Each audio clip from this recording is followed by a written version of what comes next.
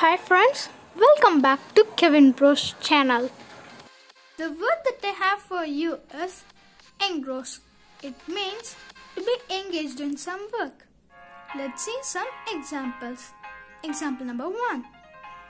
They both were engrossed in reading the book. Example number 2. I hope the story would engross the crying baby for a while. So friends, let's always be engrossed in doing some work. Friends, did you all watch the video? I hope you enjoyed it. Bye friends. Watch, subscribe and explore a new word every day. Thank you for watching.